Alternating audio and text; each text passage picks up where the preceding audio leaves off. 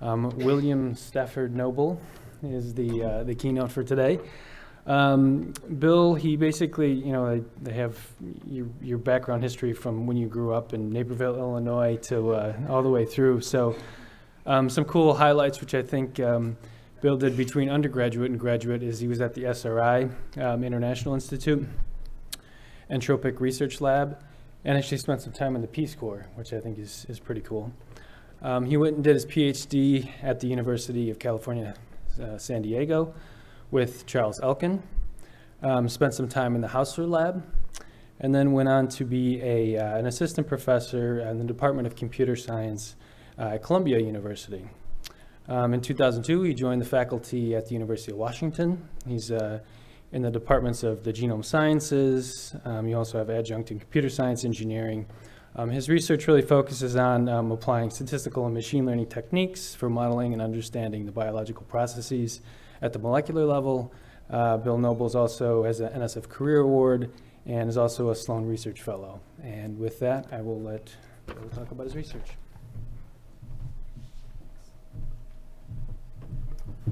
All right, thank you very much for sticking around until the end of the day.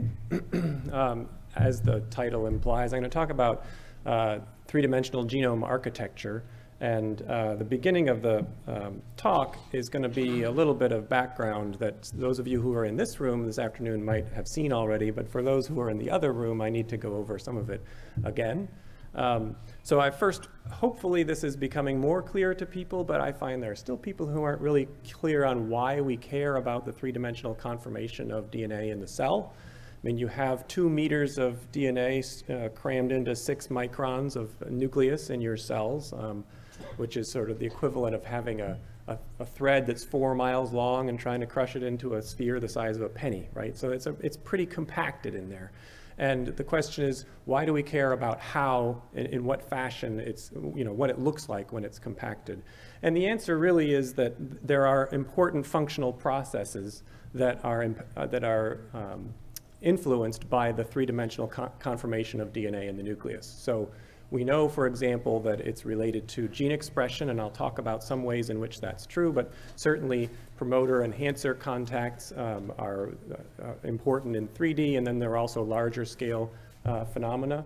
It's also intimately involved in DNA replication, and there's increasing evidence of the link between 3D conformation and DNA replication, and there are undoubtedly other functional processes as well.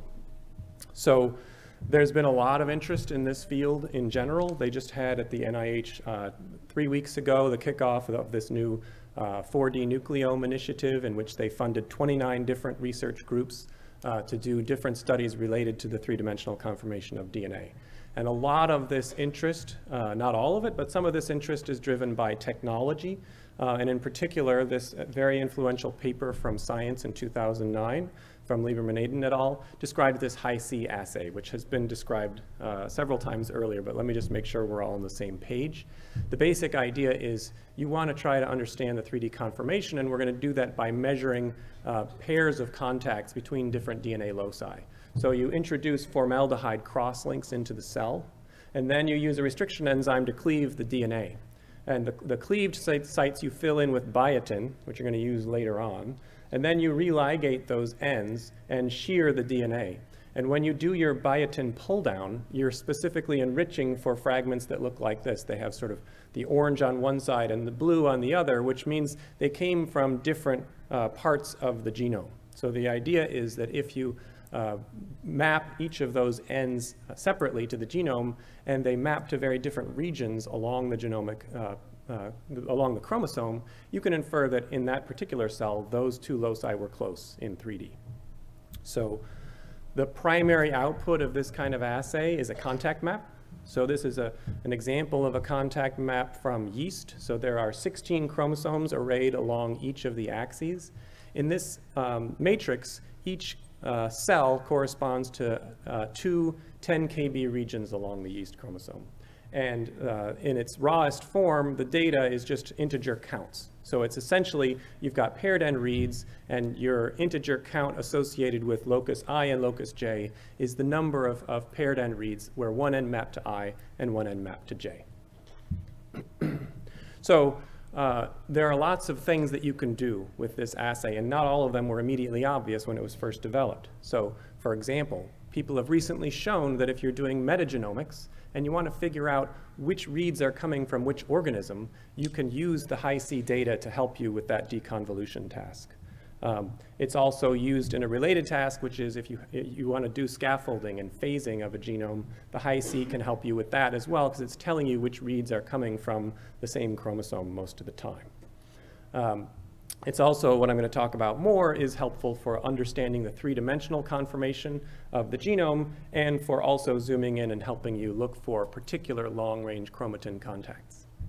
So we got into this field back in 2010 when we published a related assay uh, that we had developed concurrently with Hi-C, um, and we used it to analyze the three-dimensional conformation of yeast. So this was the first really high-resolution picture of a uh, eukaryotic genome. It's kind of hard to see in this light, but uh, what the picture is showing is each of the chromosomes of yeast in a three-dimensional model, and there are things like the, the clustering of centromeres that are apparent from, from this picture.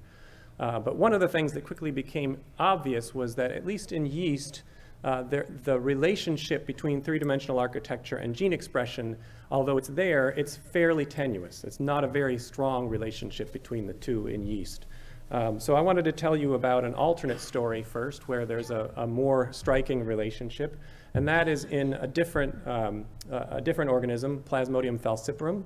This is the organism responsible for the most lethal form of malaria, and this is a collaboration with Karine Le Roch's lab um, and her postdoc Eveline and their Plasmodium lab, and also a collaboration with Jean-Philippe Vert, who's a machine learning expert, and Nelle Varoquaux, a, a, grad student in his lab. And most of the work uh, on the computational end was done by Ferhat uh, A when he was a postdoc with me. So you may not know that much about Plasmodium, um, so let me tell you a little bit. This is a, a, parasite that has a very interesting life cycle. It has different phases of the life cycle when it occupies uh, the, both the mosquito and also human, and there are two phases in human when it's in the um, liver and when it's in the blood cells. Uh, and we're going to focus in particular on, uh, on the, the blood cell stage here. Um, one of the things that makes Plasmodium uh, mysterious is that we don't really understand all the mechanisms by which it regulates its gene expression. One thing that's clear is that it doesn't have many transcription factors. You can look for DNA binding domains, and if you look at yeast, there's you know several hundred, and in Plasmodium, there's on the order of 50 to 70 of these things. Um, it's also clear that over the erythrocytic cycle, which is this uh, cycle during the, the blood stage, uh, there are pretty significant changes in local chromatin conformation. So this is a study from Karine's lab where they used two complementary assays to measure chromatin conformation, FAIRE and MAINE. These are measuring open chromatin and closed chromatin respectively. Uh, and this is a schematic of the, of the cycle, the erythrocytic cycle, and the red and the gray are the, the opening and closing of the chromatin through that cycle. So uh, what we're interested in is understanding how the large-scale chromatin structure changes through the erythrocytic cycle, and then trying to relate that back to things like gene expression. So uh, we assayed plasmodium in three different samples. These are uh, drawn uh, 0 hours, 18 hours, and 36 hours after uh, infection. And we're interested in trying to understand at each of those stages what, or overall, what are the organizational principles. So we used a relatively straightforward multidimensional scaling technique to infer uh, the three-dimensional structure of the, of the plasmodium genome uh, at these three different stages. This is a little movie that just shows a, a linear interpolation between three independently inferred models. So what the, the nucleus in plasmodium starts out very compact and then gets bigger during about 18 hours after infection, and then it um, it uh, gets compact again just before egress from the nucleus. Um, and a lot of the actual gene activity occurs during the middle of that stage when everything's opened up. One of the things you notice in that animation is that the colors, the, uh, which are the different chromosomes, stay fairly consistent even though the three models were inferred independently. So there are consistent chromosome territories throughout this process. The other thing that we can see if we look at the three different time points independently is some phenomena that, um, that leap out at us. So for example, these dots here correspond to the centromeres. And just like in yeast, you see strong centromere clustering in Plasmodium. you probably, it's harder to see here, but uh, if we flip these over, there are white dots down here that are telomeres, and the telomeres also co-localize and at the opposite pole from the centromeres. Um, finally, there's an interesting class of genes in Plasmodium called the virulence genes. There are 60 of these genes, and they are responsible for evading the human immune system. And it has this interesting um, expression modality where stochastically in every cell, one of these genes is expressed and 59 are repressed. Um, these genes tend to be lo located near the telomeres, but there are a subset of them that are located in clusters in the middle of the chromosomes. So each of these boxes will contain multiple virulence genes. If we look at the locations of those virulence genes, which are really visible on my screen and not very visible at all on this screen, you'll just, just have to trust me that these green dots here all uh, occur down in this region near the telomeres. And in particular, things like this, this is one of those clusters, which is in the middle of a chromosome and yet is being dragged down toward the telomeres. So these, these are highly co-localized and also on the telomeric end of the, uh, of the nucleus.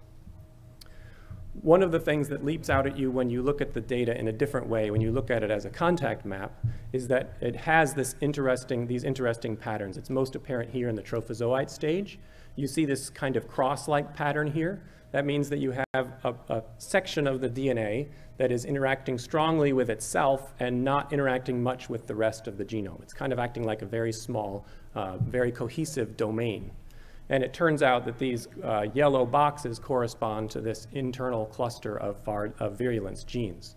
So that implies that these genes not only are co-localizing, but they're not interacting with anyone else in the genome. So you see this across stages.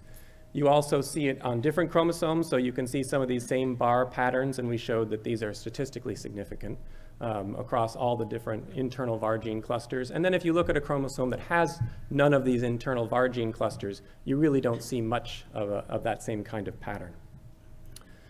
So that's interesting, but we also wanted to quantify the relationship between gene expression and, and um, gene, uh, genome architecture.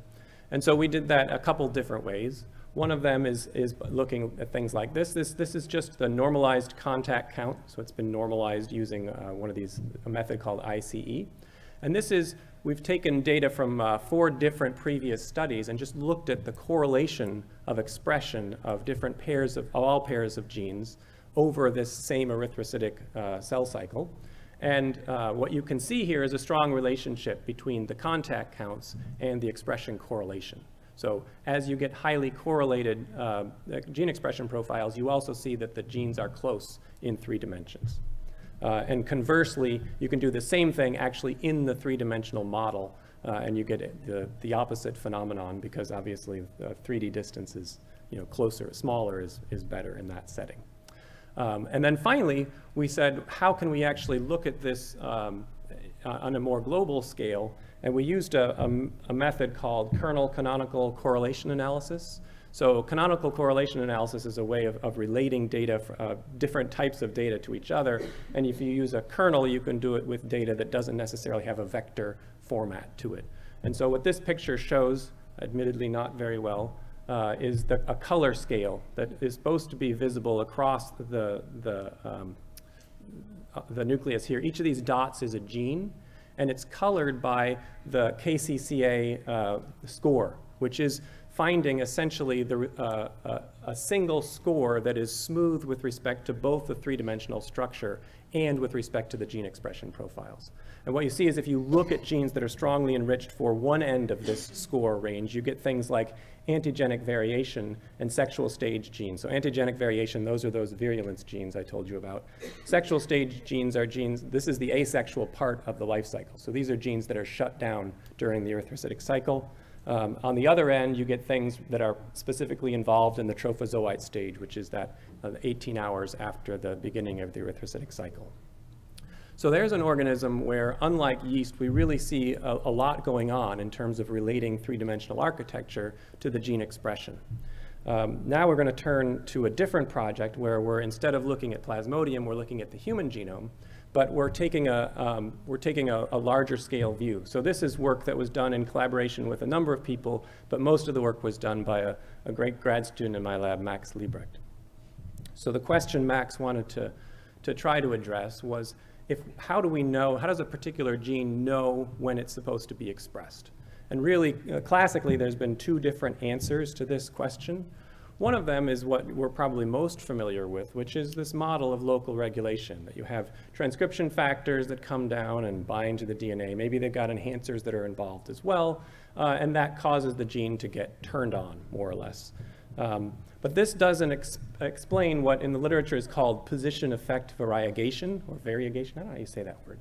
Uh, but anyway, the idea is there are, there are examples, well-known examples of genes where you have exactly the same sequence, but if you put the gene down in a different part of the genome, it doesn't get turned on. So that nothing's changed locally, but there's something about its, its larger contexts that causing it to be shut down.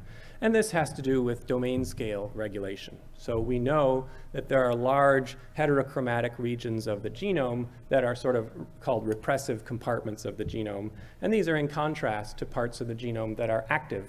Uh, and those have you know, transcription factories and all the enhancers and all the activity going on. So this is sort of a larger scale phenomenon. What we noticed when we looked at the literature is that lots of people over the years have described different ways to sort of compartmentalize the genome into different domains. So you have, you know, constitutive heterochromatin and facultative heterochromatin, which are characterized by these different types of histone modifications. You have lamin-associated regions, which you can get lamin B1 data. You have open compartments and closed compartments from Hi-C data, and also these topological domains from Hi-C data. And sort of the question was, couldn't we come up with a single way to tr try to summarize what is the, top, the, the domain structure of the genome on the basis of many different types of data? Um, I, I, admit we didn't sort of think of that question sort of out of the blue. It kind of related to an ongoing research project in the lab. So this is um, semi-automated genome annotations are, are, is our rebranding of what many of you may be familiar with as segmentation algorithms. Uh, these were developed by us and by Manolis Kellis as part of the ENCODE consortium. Um, so in phase one, the HMM-Seg, and then in phase two, Chrome HMM and Segway.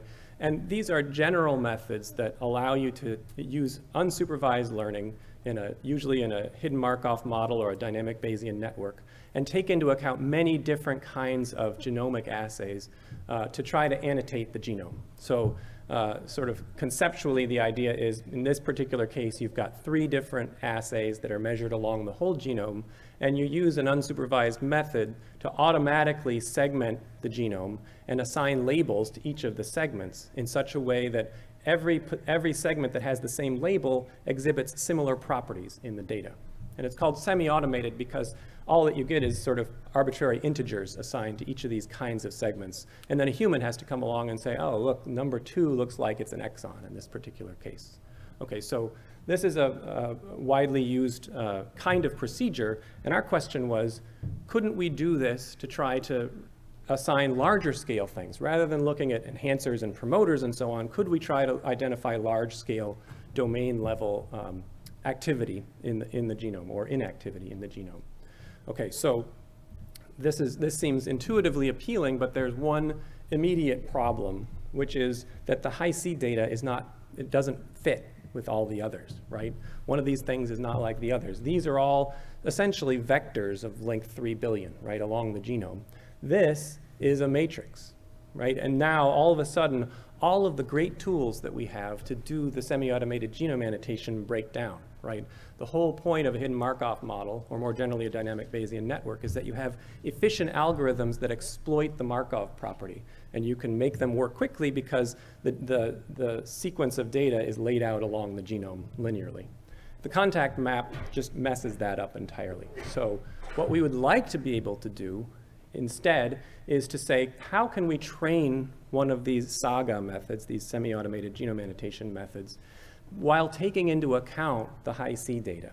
And in particular, at the domain scale, it's, it's reasonable to think that if two regions of the genome are, are a, have strong contacts according to the Hi-C data, then we might want to assign them the same label. If they're both in, both in the same compartment in 3D, then they probably are both repressive or not repressive and so on. So that's our, our goal is to try to figure out some way to do that. Um, and what we do is essentially take the original data and we lay on top of it this pairwise graph which it represents essentially the contact matrix, right? This is just another representation of the same thing. Now the trick is if you just use that graph directly and put edges into your dynamic Bayesian network, you'll never be able to do the computation. So the question is, how are we going to do this? If we add the edges directly, we can either add, do approximate inference, um, and then, or we can just try to do the compute and never have it finish. And furthermore, it's not totally clear what, the, what sort of generative process would correspond to these kinds of edges. And so instead, what we decided was let's pose this as a kind of a prior, or more formally, as a posterior regularization. So I'm not going to go into all the details of the machine learning methods that, that make this happen. There's a separate paper in a machine learning conference on the actual algorithm to do it. But the basic idea is that you have your typical term, which is just the usual expectation maximization stuff that you do for training one of these models, and then you add in an additional regularizer that essentially encourages the labels for one position and another position to be the same if they have strong links in the Hi-C data okay? So uh, the method is called entropic graph-based regularization, and essentially you have an edge weight here where that edge weight is coming from the Hi-C data. Okay, so we first wanted to show that this works in theory before we showed that it works in practice. So we did a simulation. We generated data according to a very simple hidden Markov model, but then we uh, imposed this additional constraint during the simulation so that the labels had strong probabilities of being similar according to some graph. And then we did a, very, a, a variety of different methods and just measured our error at reconstructing the label set. Um, so the first two are just standard inference methods, either inferring everything totally independently or assuming a Markov chain. Loopy belief propagation is a standard method for doing approximate inference. Uh, and then there's our method, EGPR, this entropic graph-based posterior regularization, and then also one that uses a squared error. I didn't mention it before, but the EGPR is using Kullback-Leibler divergence, which is a particular way of penalizing. So this is just showing that compared to all those methods in simulation, this works really well. We then went on to look at real data, and one of the things that we thought we would exploit is the fact that it's becoming more and more obvious how correlated Hi-C data is with um, replication timing data. So the idea here is that you have um, an annotation that you might uh, come up with independently, not using replication timing. Uh, and then you measure how well this annotation sort of correlates with the replication timing, essentially by taking out the, the variance that's due to the replication, or to the annotation, and then looking at the residual variance in the replication timing data. Um, so this gave us a way to sort of measure how well we were doing. This is the average relative standard deviation explained. So it's essentially um, a, higher, a higher value here is better. And what we are comparing is different regularization strengths. So if we look at the left side here, this is where we're just running our classical method, the Segway method that we had previously developed for doing uh, semi-automated genome annotation, ignoring the Hi-C data entirely. And then if we really crank up the regularizer, that means we're essentially only looking at the Hi-C data and ignoring all of the other histone modification and so on kinds of data that go into the, into the annotation method. And what you see is that the, the best performance in terms of correlation with this replication timing is, is an intermediate value there. So then we went on to try to use this method to make sense of what's going on in, uh, in the genome. So we looked in particular at IMR90, which is one of the ENCODE cell types. Uh, we had 30 different data types, including a bunch of histone modifications, some important transcription factors, DNA accessibility, and so on. Um, and we came up with a model uh, that, that used the Hi-C data as well to say that there are essentially five different types of uh, domains um, in, in the human genome. Um, most of these are, we're going to be familiar to most of you, so you have regions where not much is going on at all. You have the constitutive and facultative heterochromatin, and then you have specific and broad uh, regions of expression. So let me just tell you a little more about each of these.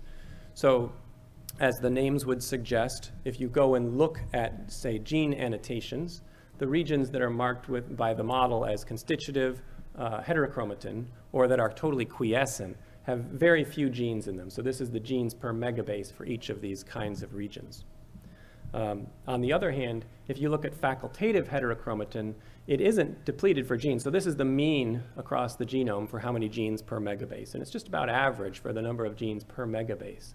But this is a repressed region. And so you, if you look at the uh, difference from the mean of the expression within this, these regions, actually facultative heterochromatin, because it's so repressed, has a much lower expression even than the, the constitutive or the quiescent um, regions. Then we have the broad and the um, specific expression domains. And for both of these, you see an enrichment for expression. So these are, are basically regions where uh, you've got uh, lots of genes turned on. Um, however, what we look, if we look at many different cell types, we see that the broad domains show activity in all cell types, while the specific expression domains sort of switch activity. So the model is like this, where you might have it on in IMR90 and off in other cell types, whereas broad is on everywhere. And this is just data showing this, where you have the fraction of active genes that are specifically expressed in the IMR90 cell type. So um, this is something that had been observed previously in Drosophila. These same kinds of, of, categorizations occur in Drosophila, and this is just showing that we could automatically identify the same phenomenon in the human genome. We then went on to look at doing domain annotations across many different cell types. So this is eight different cell types. Um, they're listed here. They're, uh, they're all ENCODE cell types where we had lots of different histone modifications. So in this case, we're looking at 12 different histone modifications per cell type, and we're coming up with an annotation that's using seg Segway, our original method, plus the Hi-C data. Um, and what we see is a fair amount of consistency across the cell types. So you have uh, a lot of, so each of these rows corresponds to one cell type, and the five different colors here correspond to those five different kinds of domains I talked to you about. Uh, and what the vertical bars, the vertical dashed bars here correspond to boundaries that are consistent across all or most of those cell types. And then you have some other cell type specific boundaries um, along, the, along the genome as well. In particular, we noticed that the developmentally consistent domain boundaries, the ones that, that were dotted vertical lines in the previous graph, are uh, particularly enriched for promoters and CTCF sites and this is also consistent with what's been shown elsewhere in the literature. And so this suggests a model where you have uh, domains that are composed of co-regulated units, where you have you may have uh, some of the consistent domain boundaries, but also the smaller domains within them that, that, that may be apparent only in one cell type and not in, in all cell types. So uh, that's the story about two different genomes and how they, uh, they uh, bend in three dimensions and, and relate to gene expression. And I'm sure there's going to be a lot more similar stories coming out in the years to come. So I'm happy to take questions. Thanks.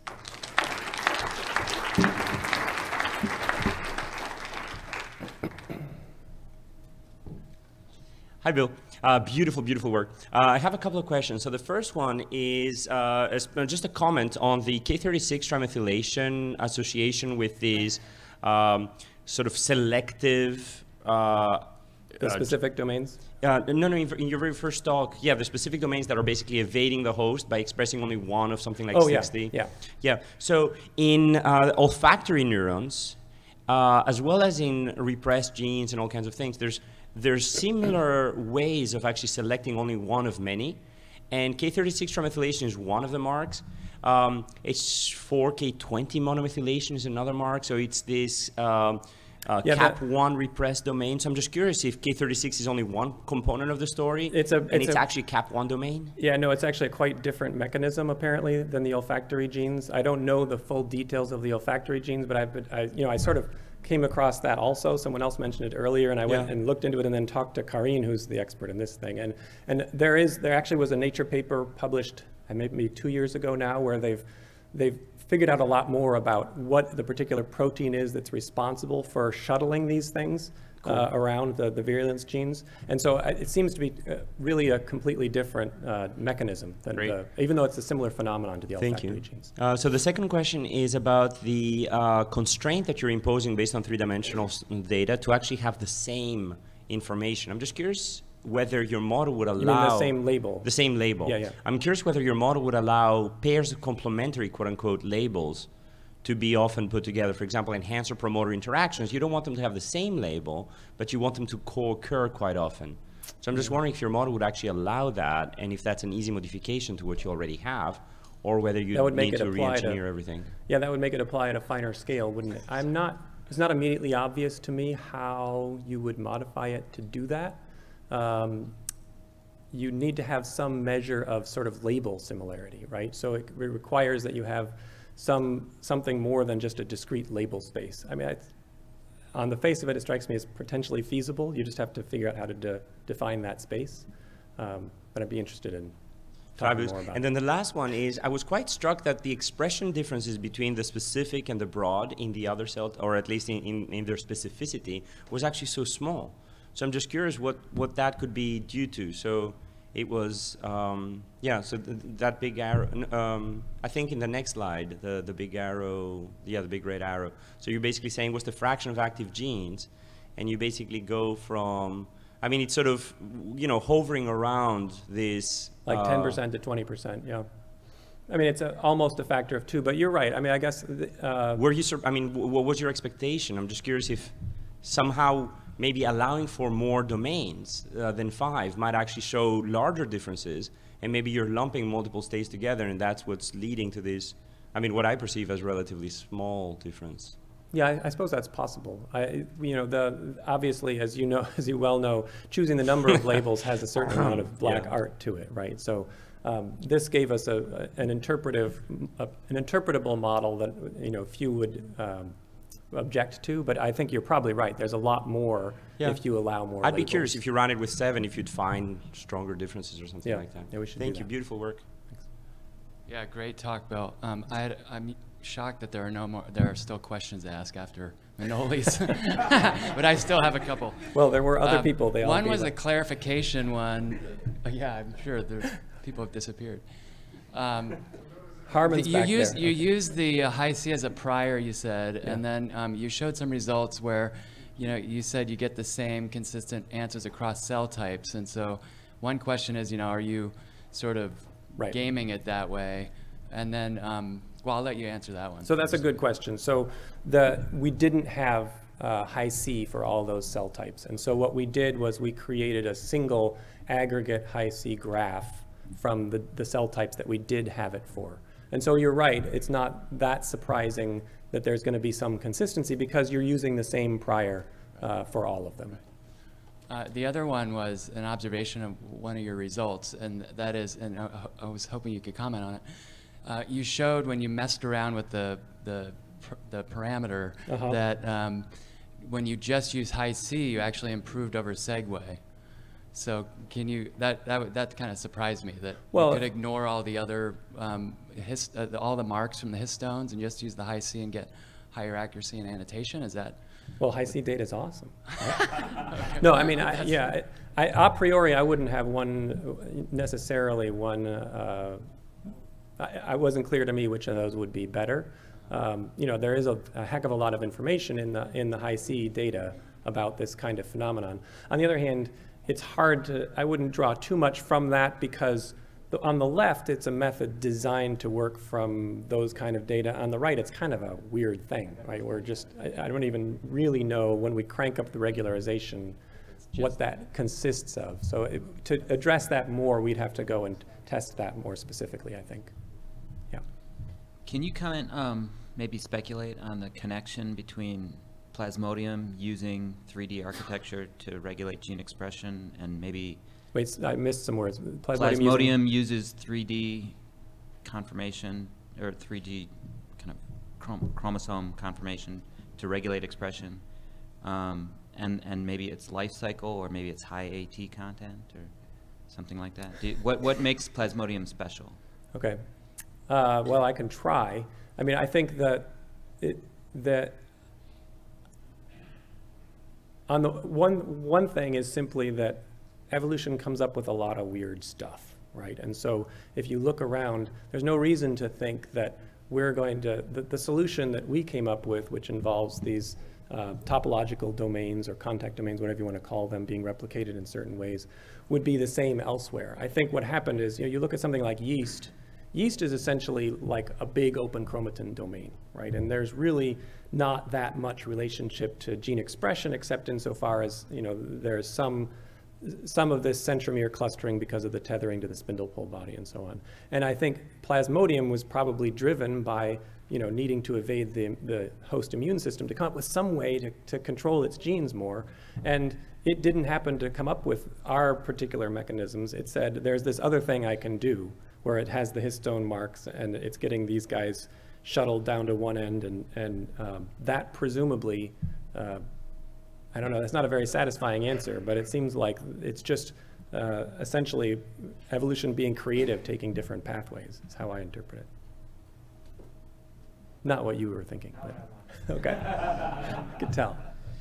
Uh, yeah, so just following up, so does plasmodium uh, genome looks more like yeast or like humans in terms of Oh. I'm sorry, I should have, I should have made that clear. Way more like yeast. So plasmodium is haploid, and it, um, and it's like 23 million bases, whereas yeast is like 16, or maybe it's the other way around, but that it's a very yeast-like, which is partly why we, we were looking at it as a place to start. Also in terms of non-coding regions and So the non-coding regions are approximately the same in things like terms of density, yeah, same as yeast. as yeast, that's Okay. right.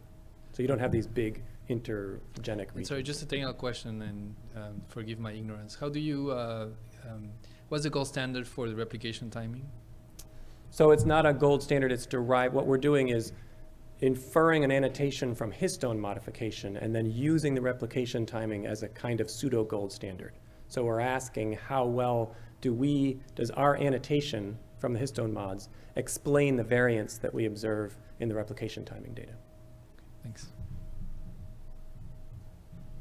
Anybody else? Good? Thank you. So for an appreciation.